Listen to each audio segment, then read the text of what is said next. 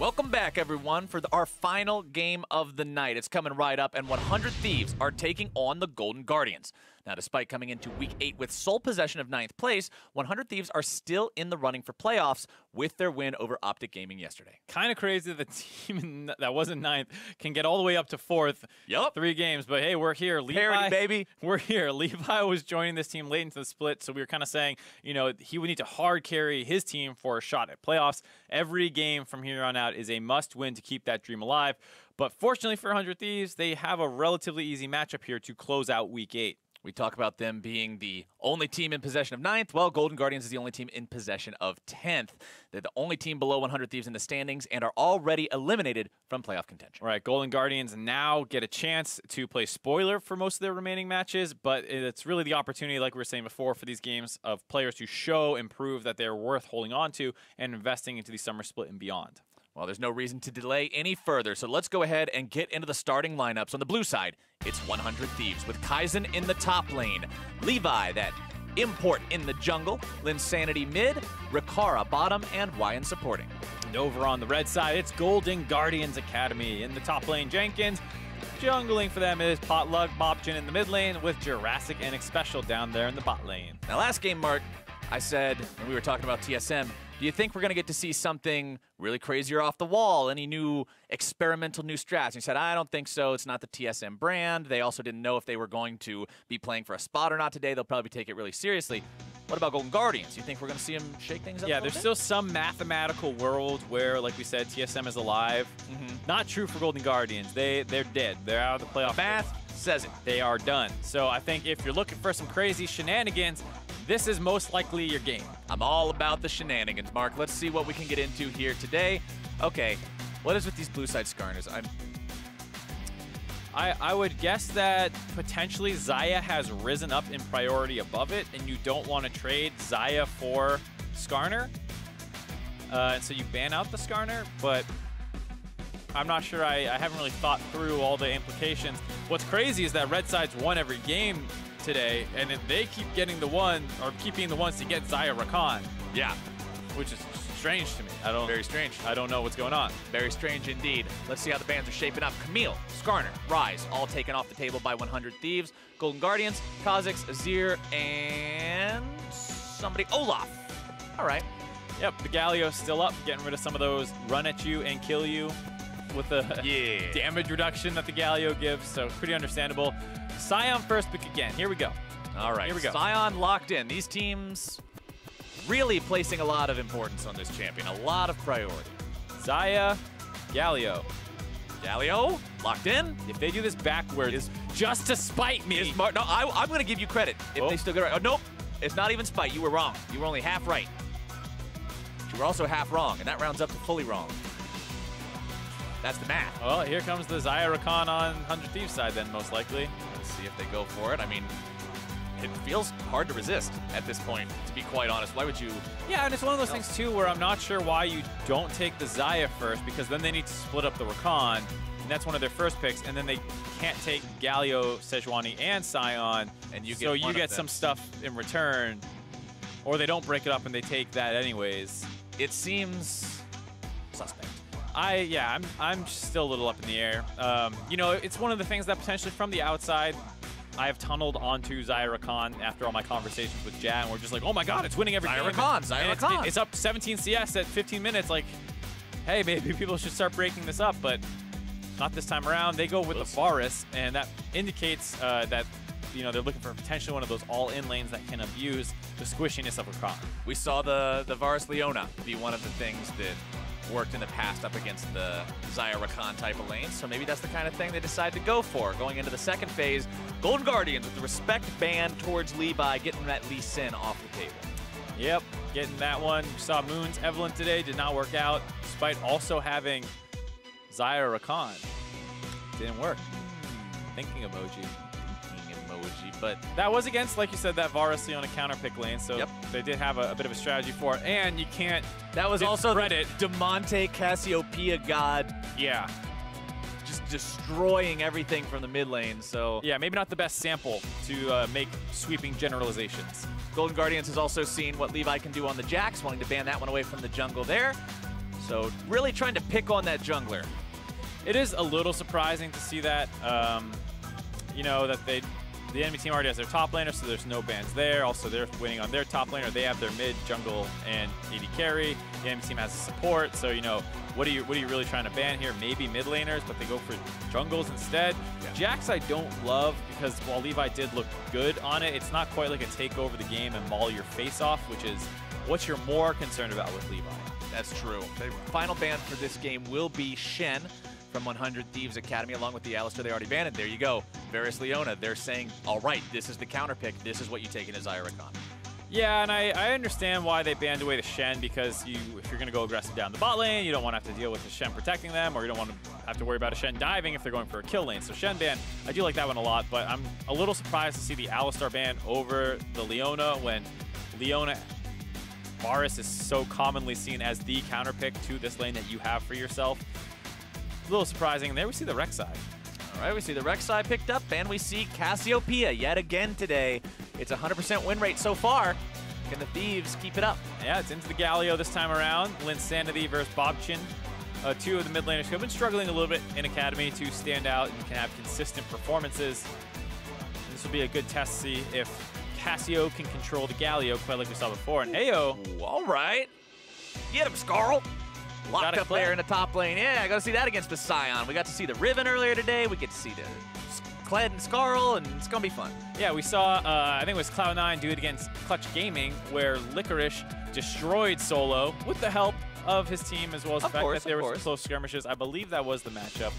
It's not a one versus one game. It's 5v5. You always got to keep all those factors in mind. But looking at this game, you've got the Xayah Rakan, you've got the Cassiopeia, you've got these three elements that have been very successful before on the side of 100 Thieves, but that Varus Leona counter pick that we talked about, that's there on the side of the Golden Guardians, as well as potentially this Kled counter pick, along with the Galio that we've also seen a lot of plays on. Yeah, I do like Golden Guardians comp a fair amount here. We always, like we said, harp on the Xayah comp, but there are other things going on, and so having side lane pressure, side lane kill threat with a Galio who can combo in with all that stuff is a good combination, and I it's one of those things where you can just blow them up and, and keep doing that over and over, wait for their summoners to be on cooldown, and kind of take advantage of them. The thing you have to be concerned about, though, is Levi on this Rek'Sai. We've seen it a little bit here in Academy. I think we're still waiting for its debut in the LCS, but with the Tracker's Knife being removed, and with Rek'Sai having some very unique gank paths, this is a champion that some people have tried to bring back, uh, find some early game action, and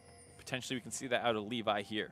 And it's not just her early game gank paths that I'm interested in. It's the fact that she has early game vision advantages in a world that's now much less populated with vision.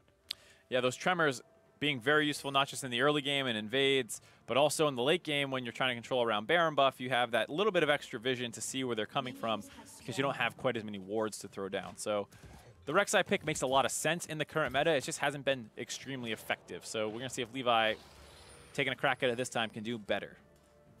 Levi, like we said, he came to this team late. He had a bit of a delayed start here in the North American Academy League Spring Split 2018, and communication is a big thing for this guy. Still working on those English skills, being able to communicate what he wants to do with the rest of the team, and that can be a very real thing. Like that's something that we can't really downplay because mm-hmm. whether or not you can properly communicate what's happening in the moment and what your goal is and what you're trying to accomplish with a certain play can be the difference between succeeding or failing.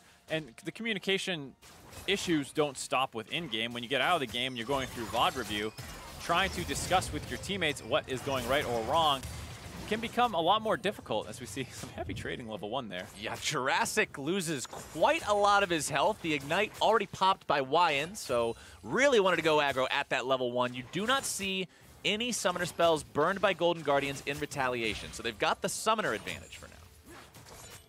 Honestly, Small not too bad for them, I guess. I mean, it's not like you're going to be swapping that out for a TP on Leona. She does go after Shock, no summoner spell book, so...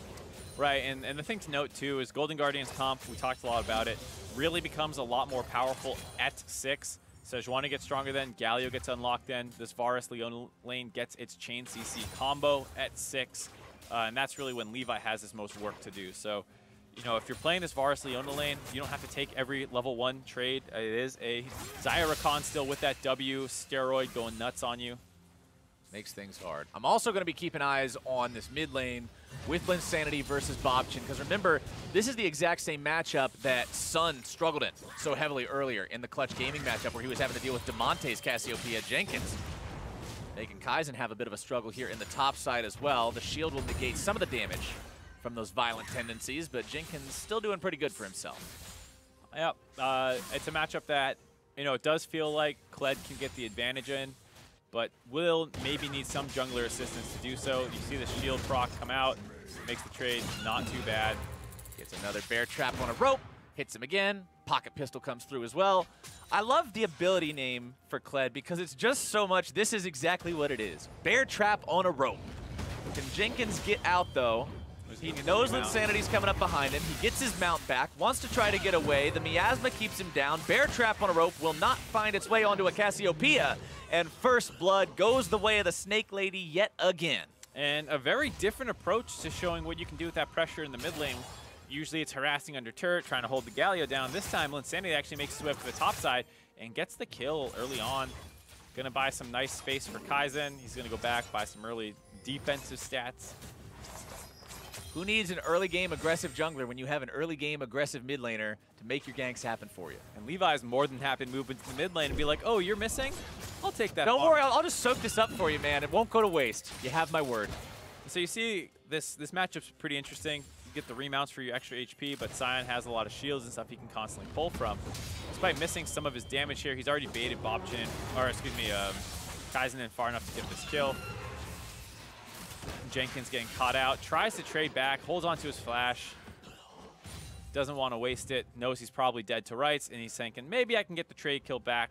Doesn't actually end up happening, though. Yeah, I like keeping the flash there, not wanting to expend that, because then you go from giving up a death to giving up a death and being really vulnerable to the next one. Right, so, exactly. Solid choice there from Jenkins, I think. Looks like a good thought process to be going with. That will take 100 Thieves Academy up to a 400, 500 gold lead, though, which is pretty good early on in the game, with a lot of that money going onto the Cassiopeia. Pretty much the entirety of that lead on the Cassiopeia, so... Top lane assist helping negate the fact that he's about 10 CS behind. The wave is in a nice spot for Jenkins, so hopefully he can keep farming up, building that lead, and getting to the point where he can threaten some solo kills. Levi walking over a trinket ward there. Just trying to keep an eye on where everybody is. Maybe get some tremor sense there of that Sejuani and where she might be located. Moves back into his own jungle.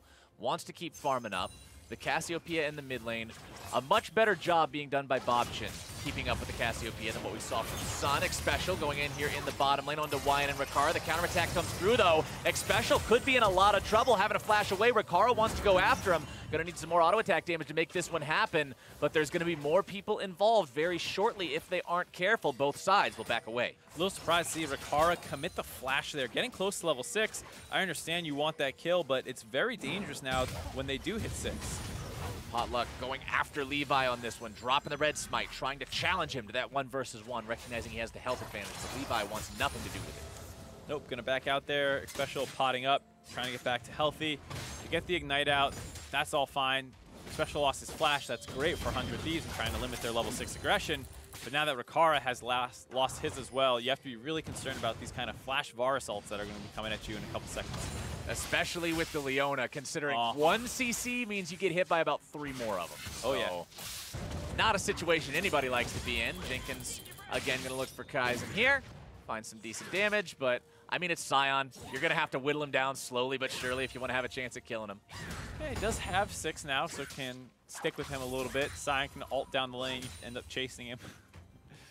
Of course, the issue is for Jenkins, when you're that low on health for your Skaarl bar, it means that if you initiate, you're almost immediately going to be dismounted.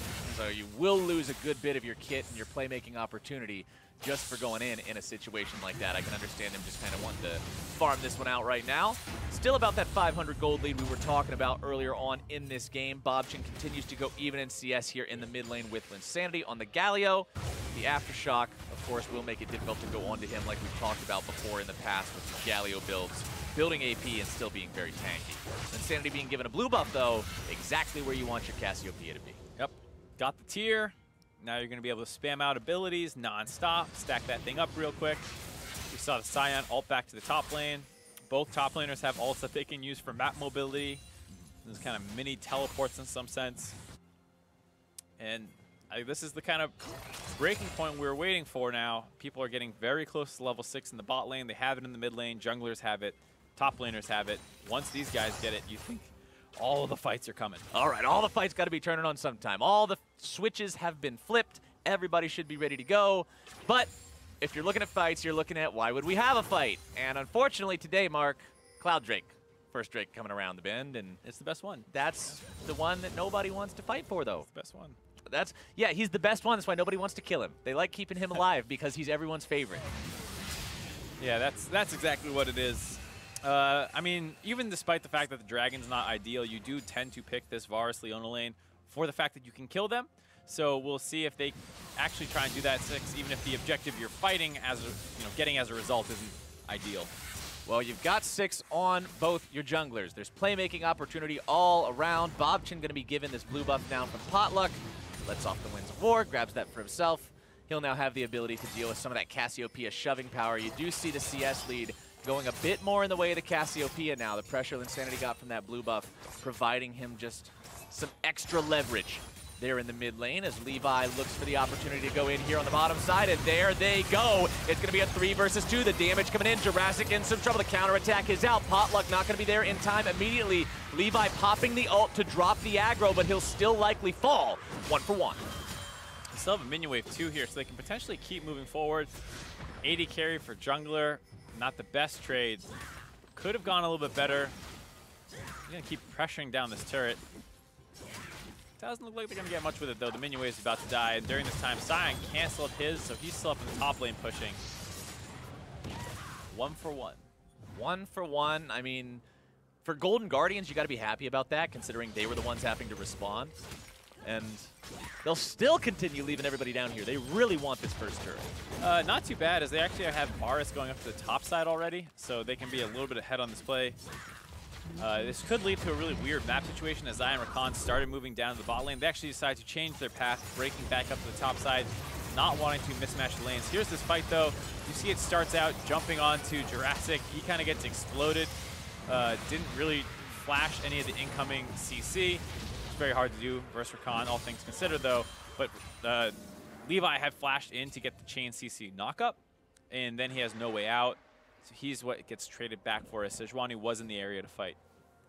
Rikara now in the top side, Jurassic now in the top side. It's the classic, like you're talking about. The turret goes down, the bottom lane goes top, the top lane goes bottom. So everything has been flipped topsy-turvy now, but it's still a super close game. Gold advantage actually in the way of Golden Guardians now, considering they got that turret first blood gold bonus for themselves. Jurassic Thinking about maybe making a play here, but instead it's going to be turned around right back onto him. Three versus three. The cavalry has arrived, and the Golden Guardians bring in the Galio. He's not even required. Potluck grabs the kill into Levi. It's a lot of abilities used there. I mean, it was very scary. Jurassic did get jumped off for the second time, but he still had his summoner, so he was able to stay alive much healthier this time. Uh, and then the rest of Golden Guardians, like we said, kind of baiting that one, pull it off. But the Galio ultimate, the Skaarl, Kled ultimate, maybe a little over the top. But they're going to get their second turn of the game off it, so things are looking good. Better overkill than missed a kill. Yeah. Want to make sure that you get yourself those objectives, snowball this lead, and Golden Guardians right now got to be feeling good about where they're standing. You take this one down, you put yourself up to about one and a half thousand gold ahead. You're taking over more of the map. You're getting yourself moving, which is what you want to see from a team that, like we said, this is their opportunity to show off who they are as individual players. Show that they deserve a spot in summer. Show that this team has a greater ceiling and they can achieve that. Doesn't look like they're going to lose too much on the map either. Uh, some damage down the bot lane turret, but they're able to grab the Rift Herald in response. The mid lane was largely fine, so while it might look like they use a lot of abilities unnecessarily, there's no actual gold going over. The only thing you can say is Kaizen now has a CS lead because ended up in the side lane two times in a row. I want to go ahead and point out as well, if you're looking at the items being built by both sides as these tanks get into a one versus one, that Levi will be joining here shortly. Looking to stop Jenkins, who flashes away, but is it enough? More CC comes through. He will be dismounted, but the dismount actually blocks the extra CC from the Sion ulti, which may be the difference here, but it will not be. 100 Thieves still find the kill. Yeah, a bit of a crazy fight there. Jenkins able to live a really long time, but the execute damage coming in from that new Rex style. I can't believe I called that new. That thing's old. Yeah, it's old at this point. It still Yeah. feels new because we're still so used to thinking of old Rek'Sai of Farm alarm. farm alarm. Hey, she's coming back to clear her rates again. Look out. Yeah. I missed that chance. That champion was such a meme. Just build full tank and run around farming. I loved it. You put some tunnels up in the down your bot lane, you gank the top lane, they try and punish the flip side, you know, map play, you ult back down there. I loved it. I felt like it was the thinking man's jungler. the thinking man. Thinking man's jungler.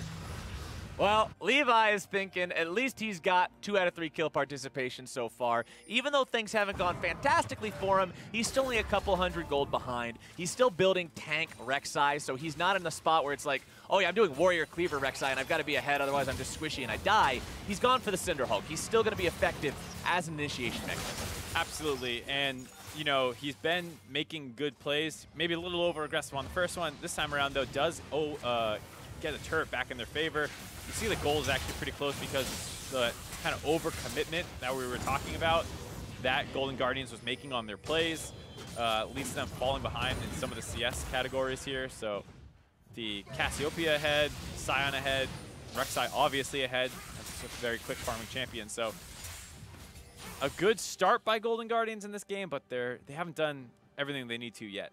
And that's, I think, one of the things that you can always look at when you're comparing one of the lower tier teams to some of the upper tier teams is in a similar situation, in a similar game, if Golden Guardians was one of the top tier teams in the league, you would think that the gold lead would be more advantageous considering the turret lead they had got for themselves and sort of where they were sitting. But not being able to build those advantages is one of the reasons why Golden Guardians haven't found the success they were hoping for. Absolutely, and it's not the kind of thing that doesn't mean you can't win. I mean, we saw No. that in the remake of the CLG FlyQuest game. When FlyQuest had an advantage at 20 minutes with a bunch of kills, you know, it was a 6k gold lead. But when CLG had 1 to 5 advantage in kills, they were 1,000 gold yeah, up. 1,000. So, so it's, it's just where the strengths of the teams lie in different places. And Golden Guardians has not been a particularly lane dominant team, so it's no surprise to see their early game plays not necessarily netting them monster advantages. At the same time, this is a similar situation to that second game you were just talking about where there's 1,000 gold separating the teams. This isn't some doomsday situation for Golden Guardians where they're so far behind, it's like, how do we even catch up? Yeah, you're a bit behind, but you still got a couple of turrets, so you're not bleeding map pressure.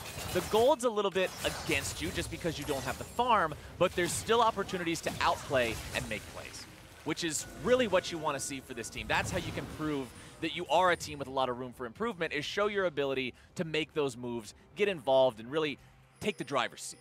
Yeah, they have a little bit of time left on this Rift Herald. Want to see them use it to break this last turret.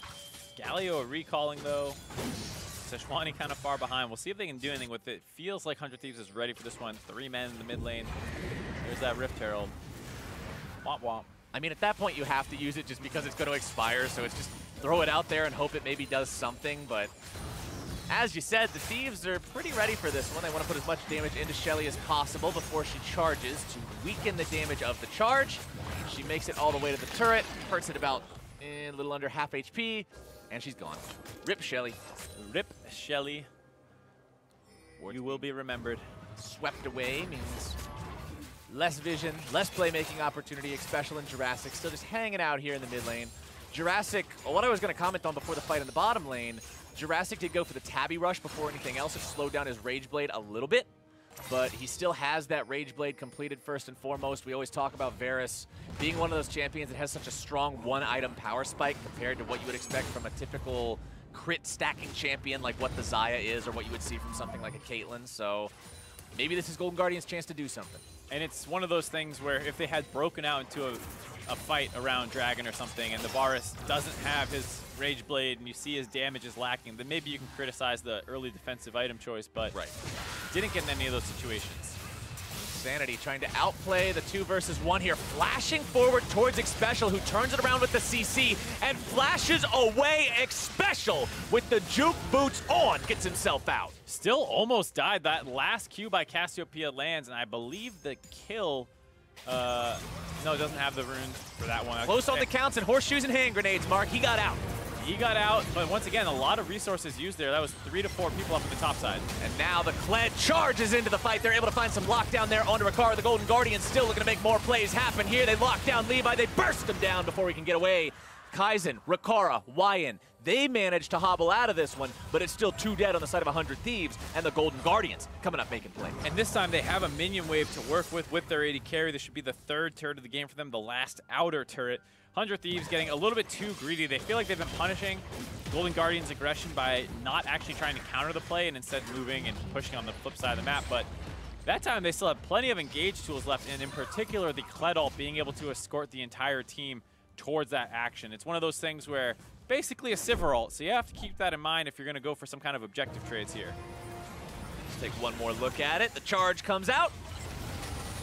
There you go. Yep. Able to get down there.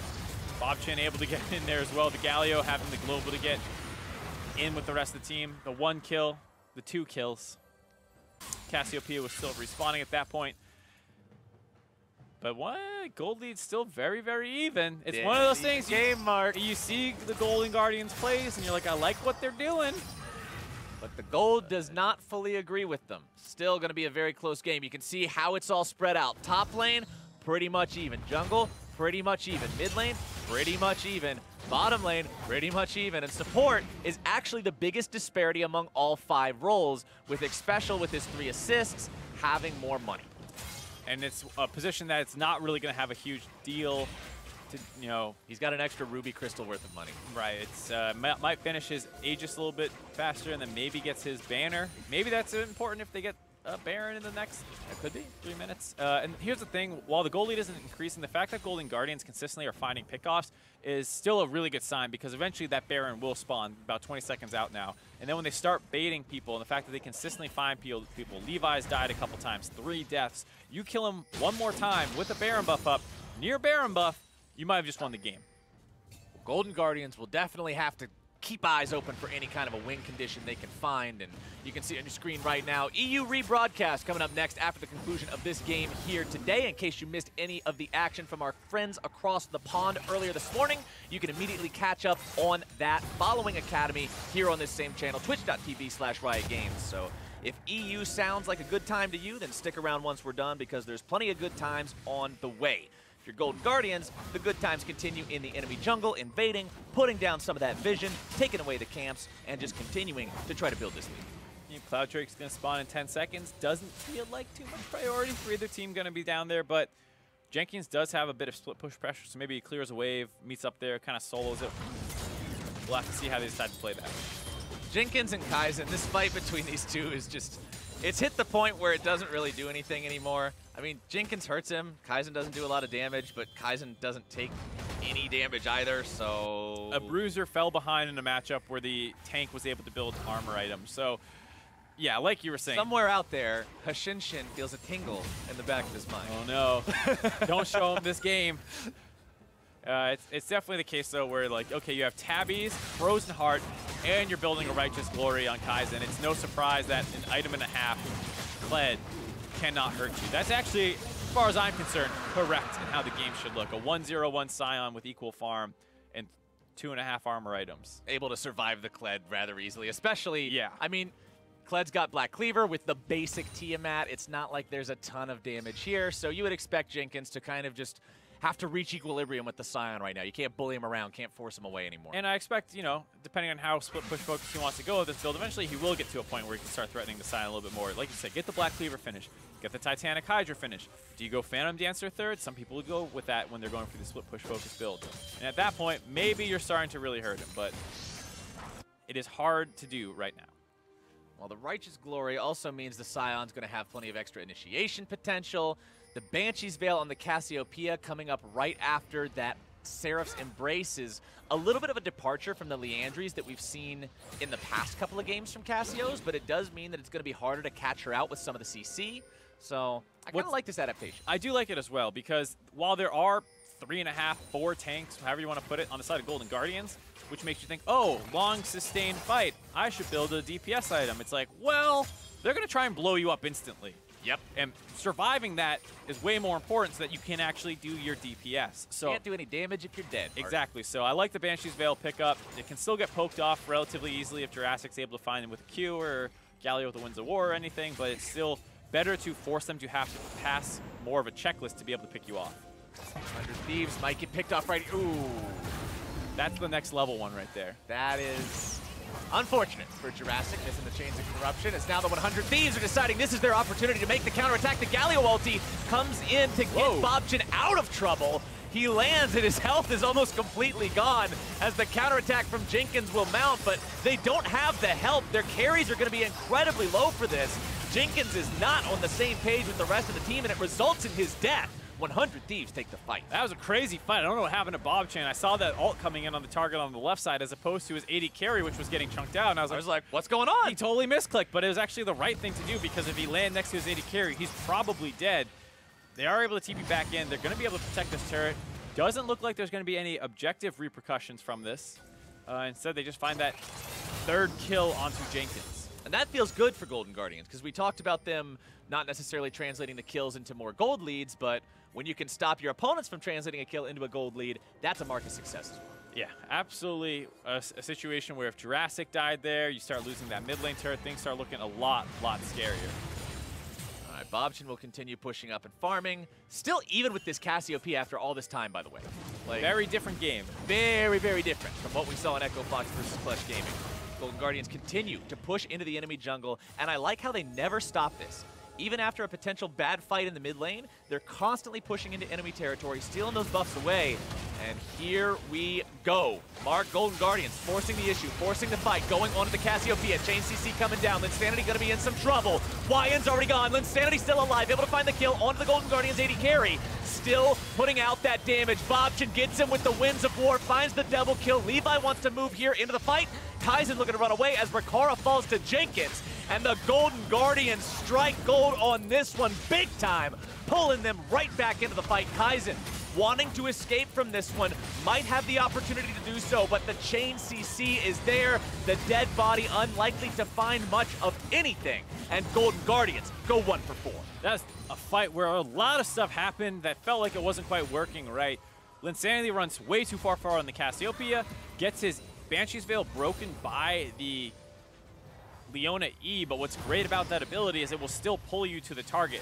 So the fact that you break it and still get the, the gap closer on Leona is huge, get the follow-up CC.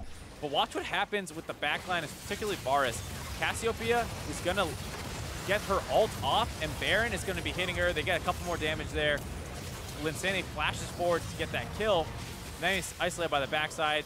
Gonna die to the Galio. And then this whole time, no front line for Rikara. Kaizen wasn't able to get over there in time. Levi was back in base, which is what kind of prompted this whole fight to begin with. And then for some reason, Levi doesn't go to protect his tank here. You would have thought he could start body blocking some of these skills coming in. Doesn't body block the Sejuani W, doesn't body block the bear trap on a rope, doesn't knock anyone up, just watches his teammate die.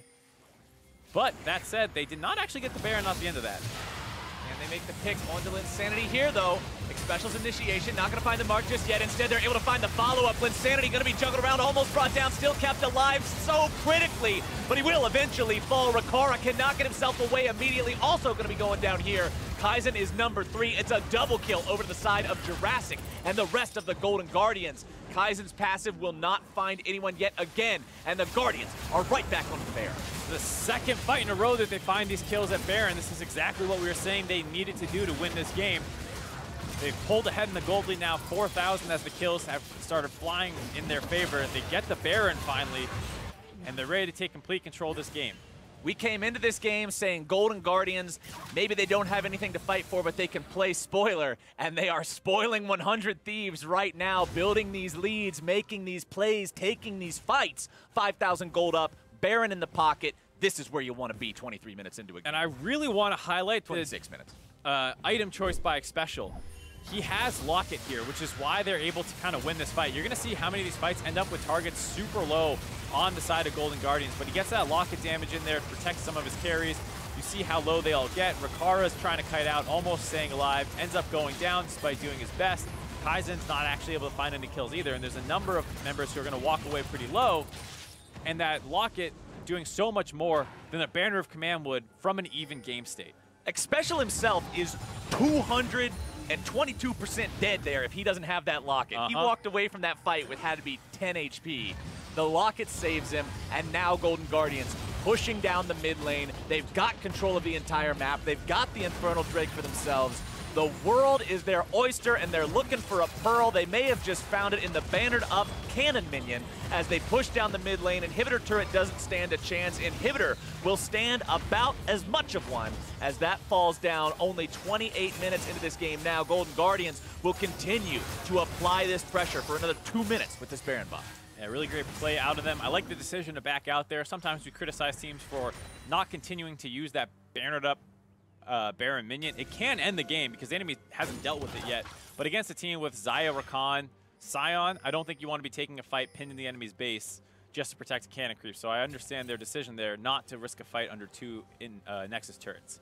100 Thieves setting up maybe a death brush here. Mm-hmm. Thinking maybe he steps up a little bit too far. Maybe Jenkins gets a little big for his britches on the Kled, but I don't think it's going to happen today, Mark. I don't think the Golden Guardians, the way they've been playing, are going to fall into that kind of a trap. And I also want to point out real quick, stopwatch on Jenkins. Bought that for the Guardian Angel.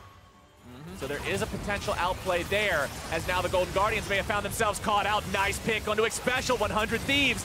This is their opportunity. Potluck will also go over for free. That's exactly what the Thieves needed. Really good job there by 100 Thieves to stun, uh, stem the bleeding. They lost their mid lane inhibitor. That's not the end of the world, though. You have really nice wave clear with Xayah, able to deal with those kind of super creeps very easily. You're going to lose this top inner turret, but totally fine trade to protect yourself for the rest of the uh, Baron buff. Get some gold back in your pockets. Just a situation where I don't think they realized how many people were in lane. They had seen the Sion Rakan previously, but didn't know the rest of the team was there. They also have TPs coming in, joining in on that. So nice play by them. Find those two kills and stall this game out a little bit because you should have the scaling advantage here. You have Cassio, Xayah, two of the best scaling champions in the game right now in the meta. You have a sick front line with the Sion, Rek'Sai, Rakan. The enemy team has a lot of dive, but if they can't kill you, you can probably win these fights. As long as you can survive that initial burst of damage in CC, I mean, what's left to kill Linsanity after the special combo is down, after the big Sejuani ult is gone, after Galio has made his entrance, Linsanity gets to run wild at that point, if he's still alive. It just takes time to get him to the point where he can be alive. And the critical thing is that his summoners are back up. That was one of the things he was lacking in that fight that lost them. Baron was in the previous fight he had used them, uh, which they still lost. This time he has them up, so hopefully they can use that to win one of these fights, negate one of these engages, cleanse and flash the right abilities. Hopefully you can win it. All right, Wyan goes in, looking to start this one off. The Sion also charging here into the fight. Jenkins taken very low. The counterattack comes out from Golden Guardians, able to find the lockdown onto Linsanity, but more CC. Whoa. Multiple knockups. Golden Guardians are absolutely destroyed. It's going to be a clean sweep for the side of 100 Thieves. They've managed to find themselves everyone, and it's ace for nothing. Oh, Kled's still alive. Got a little bit of fight left in him. It's going to take a moment. My statement still stands, Mark. That was damn good from 100 Thieves. That chain CC combo under the turret was so, so clean. textbook. Awesomely played by 100 Thieves. That was incredible to watch. They could not have executed that better. And there's Let's a lot a of things that go on here where on the side of Golden Guardians, their engage is not clean. They go onto multiple different targets at different points. So it starts out with Wyan going in, they get the Galio counter engage. They step outside the circle, and now it's the Galio that's too far forward. So they start focusing him down. Then the Varus ultimate was on the back line, but they're still in range to be doing all the damage. Everyone groups up. Four-man knockup, four-man Xayah roots. They get all that damage down onto everyone. Their AoE team fighting is perfect. Jurassic can't get away. The Kled can't get away. Those last two kills giving them that ace. That CC was a thing of beauty. The Sion knockup into the Rakan, you just don't get any better than that. And for 100 Thieves, that's the kind of thing that can bring you right back into this game. Oh, yeah, big time. I mean, you look at the gold, it's back to even completely. And you're going to have now a game where the Elder Dra- or Infernal Dragon's up in a minute and a half. The Baron is up in a minute and a half. So you're going to have your inhib respawning as well. There's going to be a lot of objectives for you to pick from, but it's most likely going to get settled with a team fight because that's what Golden Guardians comp is built for. And Golden Guardians have to make sure they don't let that fight rock their mental because one more big fight like that and you're probably done. You talked about the scaling of the Cassiopeia, of the Xayah. A big table turner like that comes up again, Golden Guardians will find themselves so offset, not only in tempo, but just in the gold and the control of the game, it's probably slipped out of their grasp at that point. The next big play needs to be another huge one with Xpecial going in and finding the right targets. And ideally it's Rikara. He's way ahead of the Varus at this point in the game. Three and a half items basically completed. Um, and so he'll do a ton of damage. You can look for the Cassio as well. Either of those backline threats are the ones you need to eliminate instantly. They've won the fights where they've managed to do that, lost the ones where they couldn't. Yep. It's no surprise. Well, the charge, I believe, was sounded there by Jenkins to get away.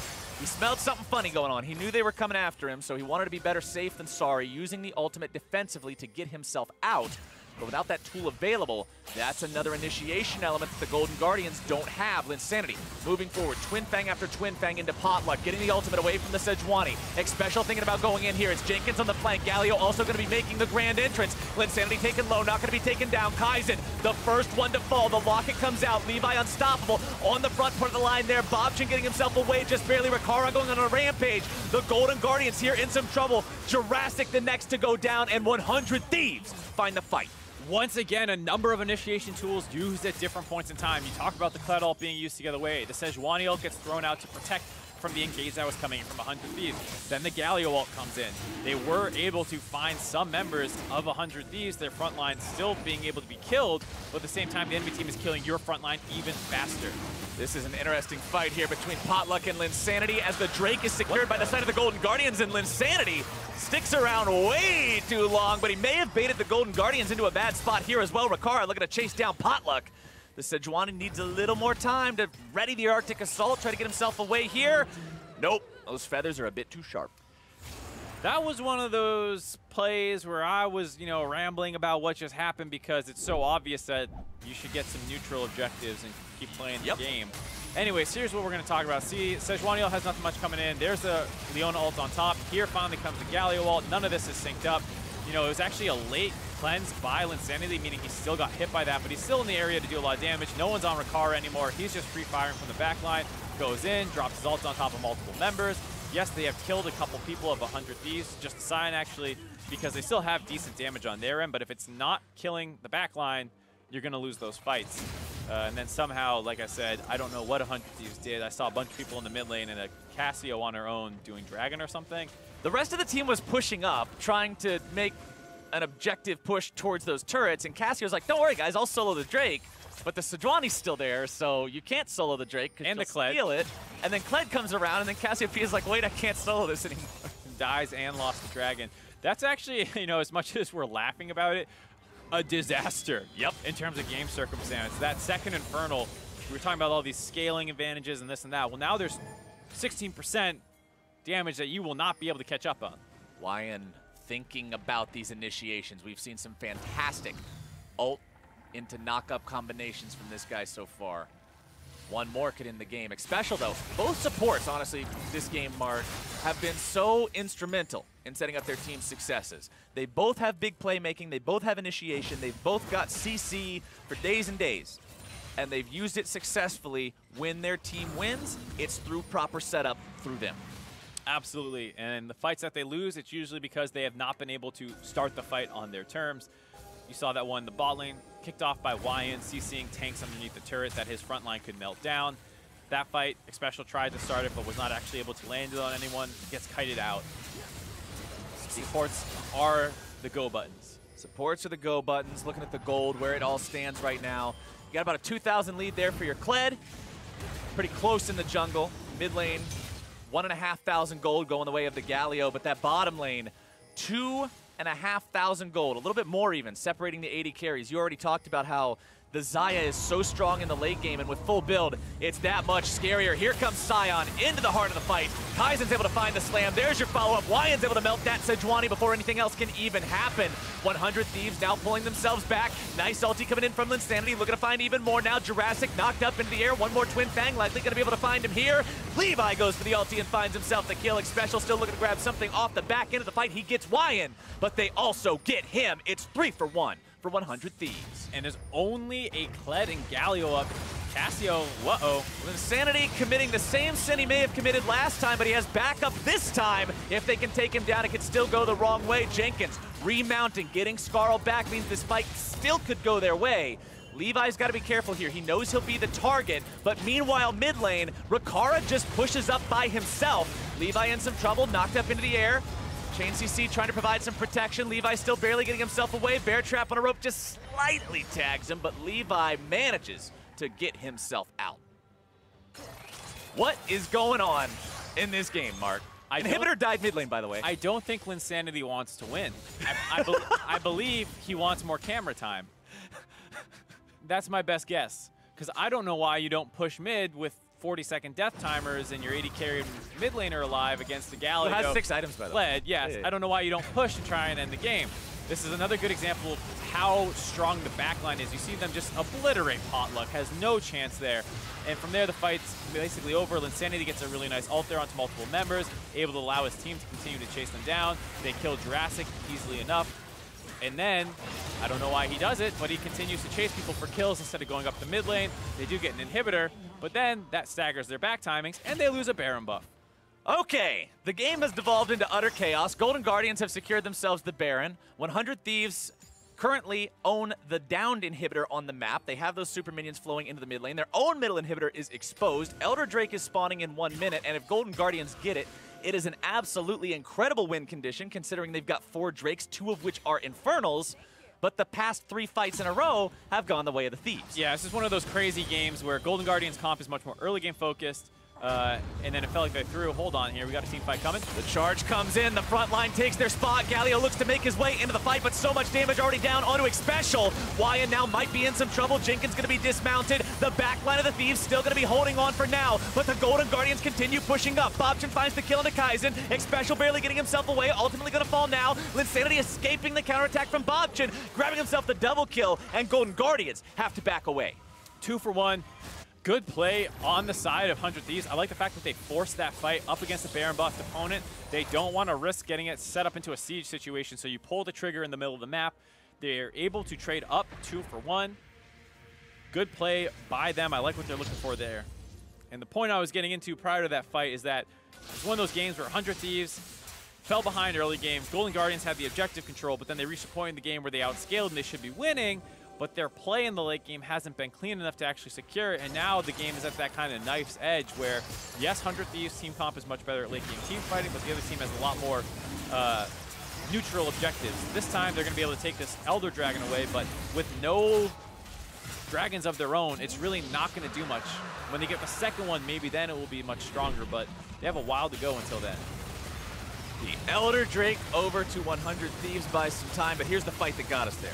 Absolutely, and it's just one of those engages that didn't work out super cleanly, and you can see just the slight lack of damage on the side of Golden Guardians, as well as the fact that they have a hard time getting forward. It's basically all on the uh, Varus pick there, and he was kiting through, but there was a Miasma blocking his path. He couldn't get onto the Cassio, so he has a really hard time bringing the damage to the backline. If they're not able to land a good chain CC onto the members of 100 Thieves backline, which is hard to do against a Cleanse and Mercurial Scimitar, then there's really not much backline damage to actually threaten them.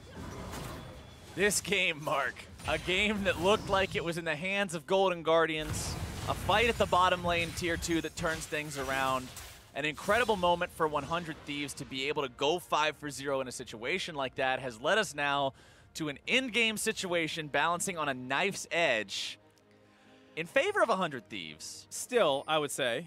But, but that could go either way. It, and in all honesty, they probably should have won the game. The way they came back was was really amazing. I mean, there was a lot of their own plays and, and uh, decisions that won them back into this game in some sense when they found the two pickoffs after camping in the bot lane to stall out the Baron. When they found the fight down there where they locked people up, that was all their decision making. But since then, a couple questionable decisions by some individuals have left them in some situations where they end up with a lot less than they should after successful plays. All right, Baron buff's got itself five seconds left. That'll soon expire. Elder Drake buff looking at having about a quarter of that duration left still ticking. 100 Thieves want to make a play with it while they still have it, even if it's not enchanted at all with any basic elemental drakes, it's still a combat edge that you otherwise wouldn't have. to take down the tier two in the top side. They pressure onto the inhibitor turret. This could very well be the final fight of the game if Golden Guardians cannot hold here. Keep your eyes on Wyan. Keep your eyes on Xpecial. Those are the two that have been responsible for so much this game. Potluck, Bobchin, Levi, Kaizen. We've seen follow-up initiation from them. And from Kaizen, we've seen him starting things off at the charge, but it's ultimately those supports that have been making so many moves this game. Absolutely. And like we said, Golden Guardians need to find one of the backline members and lock them down long enough for the Kled or Galio to deliver enough damage to kill them. There's no way for Varus to, to really get that damage off onto the Cassio or Xayah. And I mean, it's a full AP Galio, so if you're able to lock one of those members in place for his Winds of War to hit and tick on them a couple times, those people are probably going to die. It's just yeah. very hard to keep them locked down because even if you land one CC, that's when the QSS comes in, that's where the cleanse comes in, and they start kiting out of your, your abilities. Death timers are going to start getting so ridiculously long, too. Oh, yeah. That eventually the game just has to end. No matter what happens, one of these times we're going to get a 70 second death timer that results in a Nexus blowing up, even if it's on the other end of the map. Well, and, and it'll probably just be a tank, you know, all things considered. It's going to be one of those things where Kaizen ults in, hits Sejuani, and one of the two of them dies, and the enemy team can kite forward, and then you don't have your main front line anymore. Bit of an anticlimactic finale. I'm just setting the picture that it. I know, I know. That might be how dream. it ends. I still want to dream. We'll see if the Golden Guardians can hold the line here. The Miasma down into Potluck will break the Frost Armor, which can actually be a pretty big deal when it comes to tanking the brunt of the initial burst of the enemy team. He wants to try to regain that as quickly as possible. That will be back up in just a moment here. All right, should go. Good to go. Bobchin on that front line with the magic shield. Pretty fine about hanging out in that miasma, quite honestly. Golden Guardians still wanting to defend this inhibitor. I mean, if you can't win a fight in open ground at this point, probably going to be hard to win any kind of a fight at all. I don't see 100 Thieves wanting to dive in between your Nexus turrets for you. Yeah, this is an awkward situation where 100 Thieves are perfectly happy to fight front to back, and so they like being in this kind of siege situation. Uh, but there's too many turrets too close behind this inhibitor to really force their own fight. So Golden Guardians don't want to force because it's on 100 Thieves terms. The 100 Thieves don't want to force because of map position. So you're getting a little bit of a stalemate here. Everybody's stuck in just slightly too imperfect of a spot. Still only 2,000 gold separating the teams, though, and once you're 80,000 gold deep into a game of League of Legends, 2,000 doesn't mean a whole lot. We're not... It's an even, even. We're not six minutes into the game anymore. It doesn't really have a huge impact on exactly who's going to do what. It all comes down to how you execute, who plays it right, who gets misplayed, who gets outplayed. Xpecial. You can tell just by the way he's posturing, he wants to make something happen here. Oh, here we go. It looks like this could very well be it. Rikara already utilizing the ulti. The charge comes in. Jenkins thinking about making something maybe happen here. Golden Guardians they pop one of their initiation mechanisms. They pop a couple of them. But at the same time, 100 Thieves had to use a pretty big tool in the Xayah ultimate. Over the wall goes Wyan. There's that initiation I'm talking about. Golden Guardian still looking to go in. Full force, five men strong. Kaizen able to find the slam onto a couple of different people. Galio ulti comes in, but Rikara is able to slam him back down before he can go up into the air. Golden Guardians are routed. That's a double kill for Rikara. 100 Thieves it was a long road getting here, but that is the quadra kill into the ace that will lead them to win this game. It took a couple more fights than needed, but 100 Thieves finally kill all five members. There's nowhere to go but straight up the mid lane. They already have the inhibitor turret down. They're grabbing the inhibitor, and they'll be grabbing the game, keeping themselves alive. There's in a, in a mathematical world. In a mathematical world, to find a playoff spot in that fourth remaining available position. 100 Thieves did it. Man, I can't believe it came to that down. They did it the hard way. Yeah, yeah, they did it about as rough as it could be. I liked both teams' drafts. 100 Thieves grabbing a ton of power picks for themselves. Golden Guardians going for the very counter pick, early game focus. Both teams executing largely on their game plans. And then, like we talked a little bit about in the beginning of the day, mm-hmm. you're in an elimination game. The pressure is on. And when you get to these late game situations, you could tell that the stress was getting to some of these players. Well, let's talk about how Golden Guardians started this thing strong because we got to see a re- we're going to see a replay right now. 26 minutes into the game, they get three for one and they turn it into bear. This was a fight that finally resulted in a big lead for Golden Guardians. They had found a lot of pickoffs over the course of the game, but weren't able to turn them into big advantages. This time, next to the Baron, they're able to find the Cassio right away. Rikara is doing a lot of damage, but comes back down after his ultimate. He gets dropped as well. Xpecial is able to live. It's a five for three. They're right next to Baron. They grab the Baron, and then they're able to use a siege minion right away to take a mid inhibitor. And so you're thinking, all right, they're going to close this game out. But then 100 Thieves starts finding all these fights. And the biggest one, 30 minutes into the game, ace for free in the bottom lane at the tier 2 turret. This is what ultimately turns the game around. Oh man, it's been a while since I've seen such a beautifully executed, you know, wombo combo of abilities. But here you see them just locking down people under the turret. They know they have good frontline damage. They're trying to keep them there, and then they just group up too much. And you get the three-man knockup into the other three-man knockup into the uh, Zaya ult on top. The Cassio's pumping out damage.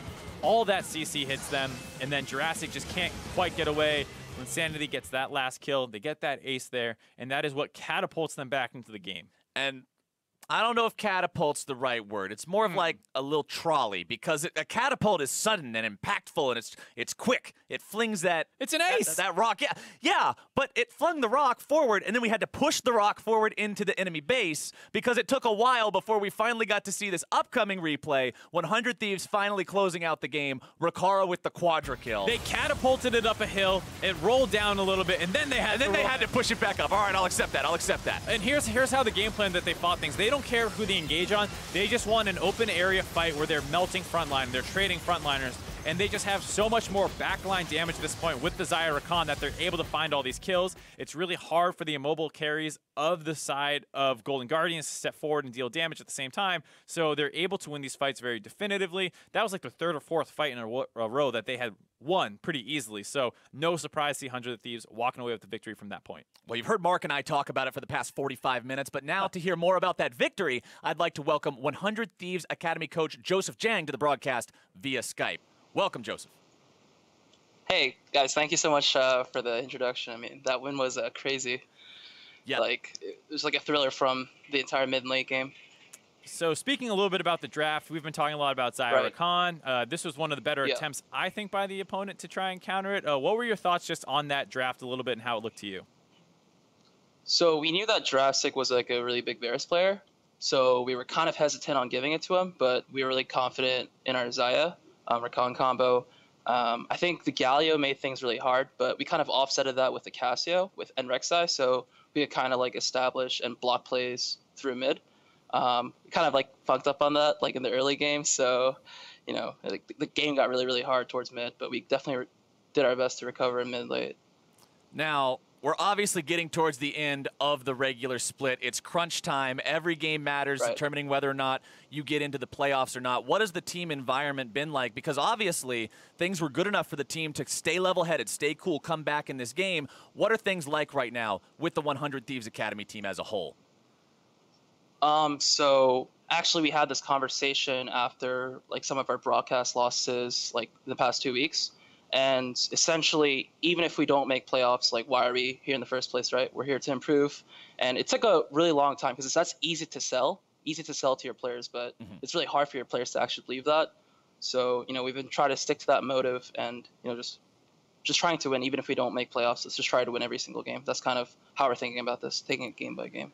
Right, and obviously a lot of the storyline around your team at the start of the season was like waiting for Levi to get here. Then he shows up, and there's there's clearly some difficulties in integrating him. So you know, a little bit Right. behind the scenes look. You, how good is his English? What are you guys doing to work with him? What's the future hold for Levi? A little bit.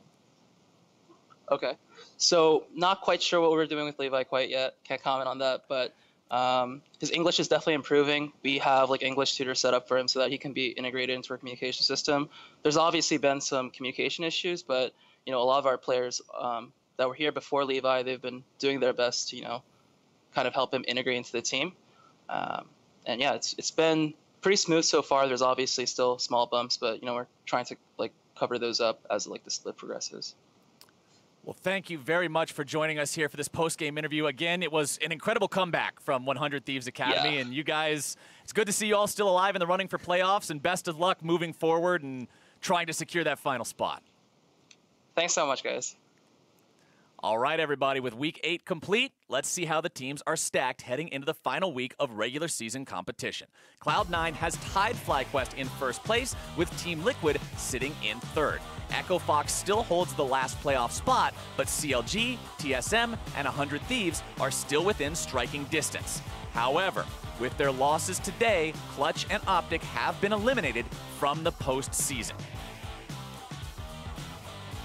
Those results bring us to the point where we have reached the end of today's Academy broadcast, but the NALCS returns tomorrow afternoon, where Clutch Gaming will try to solidify their reputation as a top team against Echo Fox in Game 1. After that, TSM faces off against Team Liquid in Game 4 later on, so be sure to join Kobe and the team owners, Reggie and Steve, on NALCS Lounge at twitch.tv slash Riot Games 2 if you want to get all the insider information from those guys about exactly what's going on in that matchup. Yeah, there's a lot of really cool games coming up tomorrow. I think Clutch versus Echo Fox is one that I'm personally interested in. I know uh, they Clutch has kind of come in as the definitive number team, it, the number three team. It feels like, but we're wondering where their ceiling is because they haven't had any, you know, statement victories, so to speak. And then, of course, that featured matchup with Reggie Oh, and yeah. Steve. They talk a lot of smack in person, uh, so I can't wait to see them a little bit more unfiltered in that situation. Time to put your money where your mouth is. We'll mm-hmm. see if they can make that happen. But if you're looking for more league right now,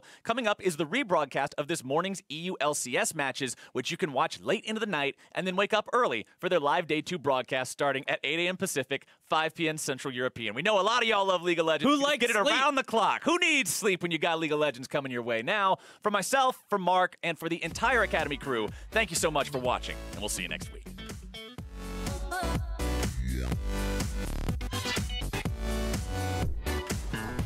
Gets his mount back, wants to try to get away. The miasma keeps him down. Bear trap on a rope will not find its way onto a Cassiopeia. Now the Kled charges into the fight. They're able to find some lockdown there onto Rikara. The Golden Guardian still looking to make more plays happen here. They lock down Levi. They burst him down. Wyan's already gone. Linsanity still alive. Able to find the kill onto the Golden Guardian's AD carry. Still putting out that damage. Bobchin gets him with the Winds of War. Finds the double kill. Counterattack comes out from Golden Guardians. Able to find the lockdown onto Linsanity. But more CC. Whoa. Multiple knockups. Golden Are absolutely destroyed. Galiolti comes in, but Rikara is able to slam him back down before he can go up in the air. Golden Guardians are routed. That is the quadra kill into the ace